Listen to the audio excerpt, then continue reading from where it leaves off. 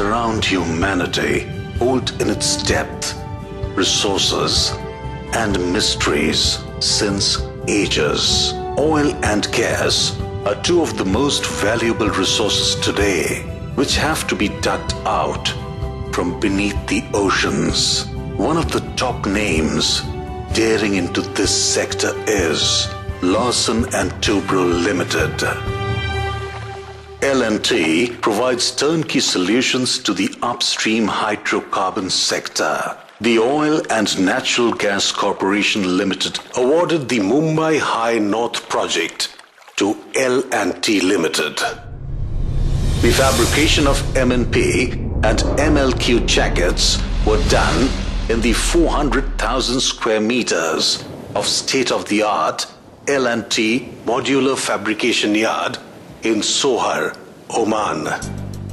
The fabrication of the gigantic MNP jacket structure begins with the removal of a layer of earth, precasted concrete slippers with steel plates embedded on the surface are laid in the slot. Prefabricated skid beam is then placed over these slippers.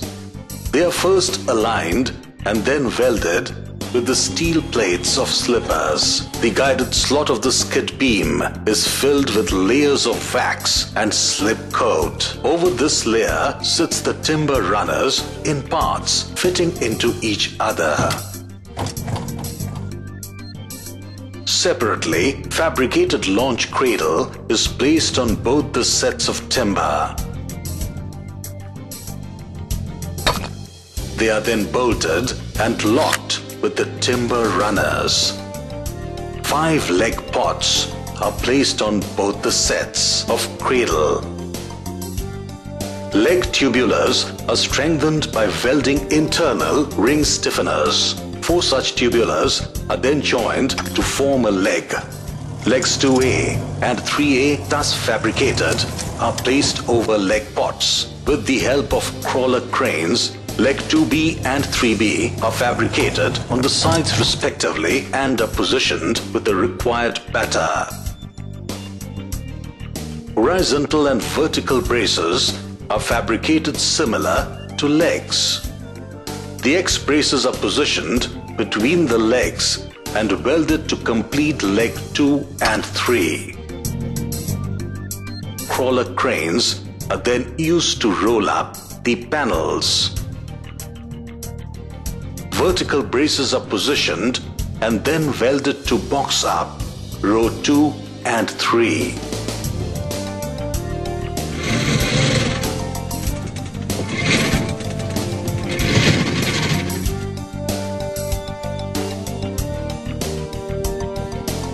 After the boxing up of panel 2 and 3, the set is jacked down and the legs 2A and 3A rest on the launch cradle and the leg pots are removed.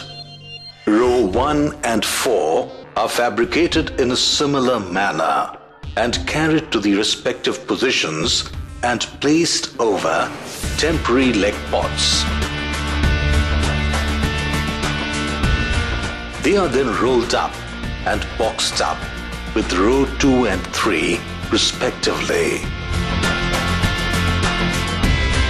23 riser pipes are then placed and fixed in the clamps, 5 each at the bottom between row 1A, 2A and 3A, 4A, 6 and 7 each between 1B, 2B and 3B, 4B respectively.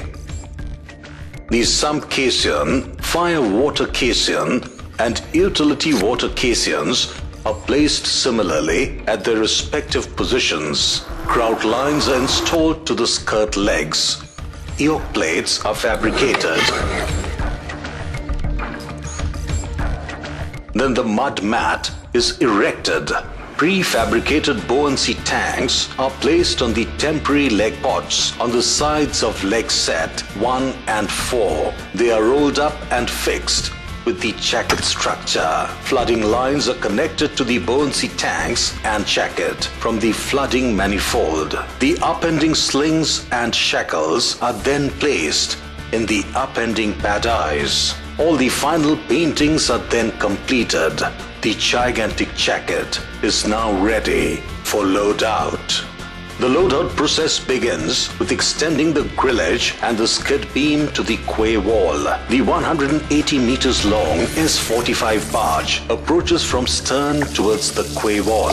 Fixed by the anchors and mooring lines, the rocker arms are brought in line with the skid beam by ballasting and deballasting of water. Four-strand jack piston assemblies are fixed near the mud mat on the jacket. The strand wires coming from the piston assembly are fixed on dead man anchor frames on the barge. Two push jacks, one for each launch cradle, provides the initial breakup push. The piston moves ahead and holds the strand. The jack moves towards the piston, carrying the jacket. The ballasting and deballasting of water from the barge maintain the 25 millimeter tolerance. The high precision synchronized movements make the jacket crawl into the barge in tiny steps.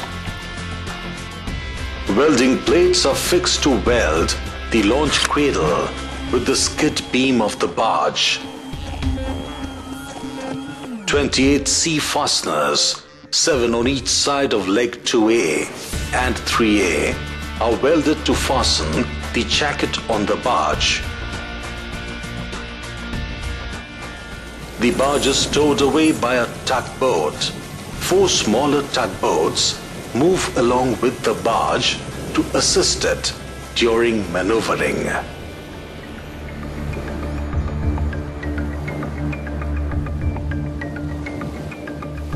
On reaching the destination, first the sea fasteners are removed and welded on the barge deck.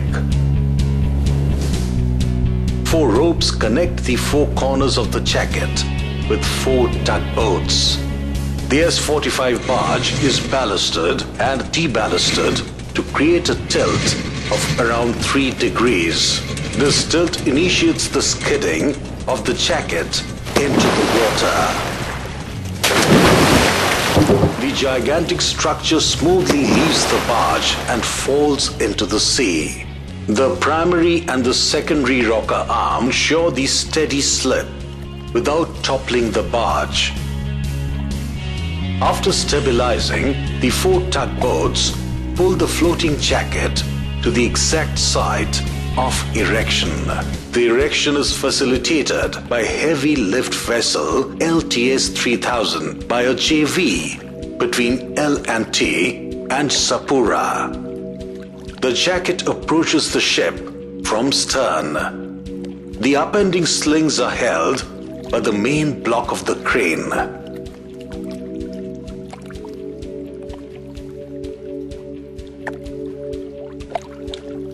The GPS, gyro box, and the 4 LBL are placed in their respective positions, which will now help in final positioning of the jacket. The flooding lines are connected to the flooding manifold through the pumps installed on main deck of the ship and water starts pouring into the legs and the buoyancy tanks. The jacket starts upending.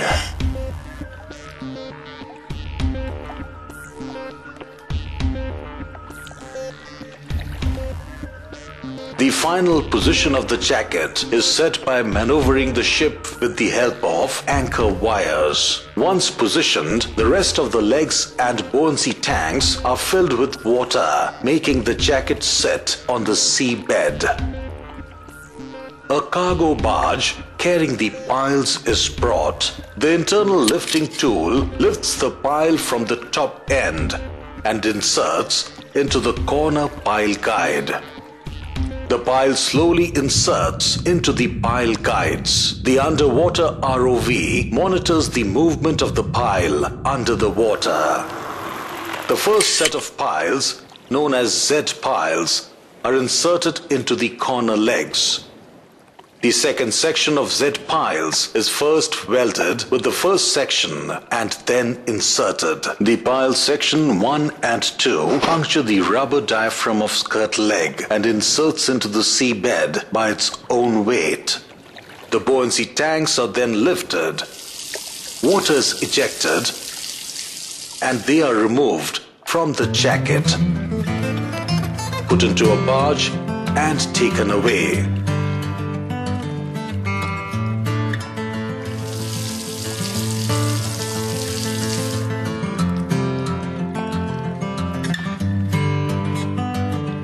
Rest of the insertion is done through hammering as per the sequence decided by the installation contractor.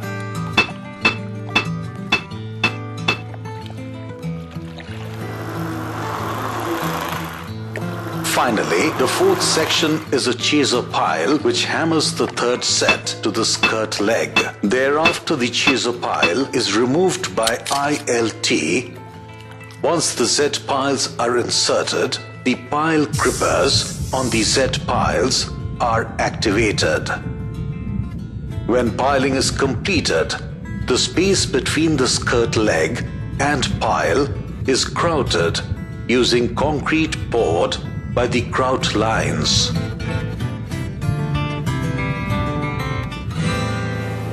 The boat landing and barge bumpers are installed at the end.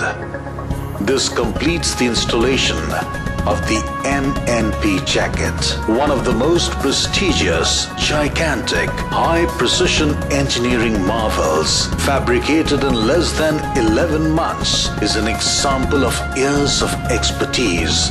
Larsen and Toubro, Imagineering at its best.